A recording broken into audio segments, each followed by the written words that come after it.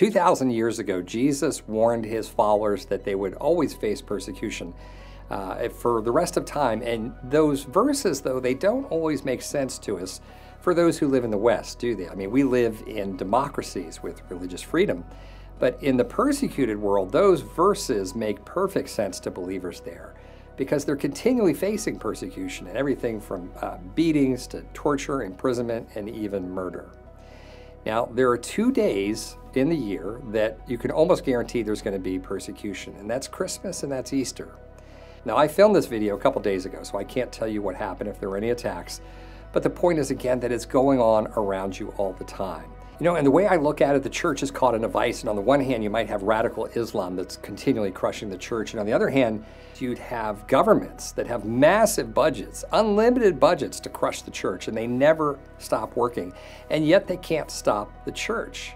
And in fact, it's the persecution that makes the church grow. So, whatever is going on in your life, when you look at the sorry state of the world or maybe the state of the church in your country, don't be discouraged. Be encouraged by the church eternal and this strange animal that grows best where it suffers most.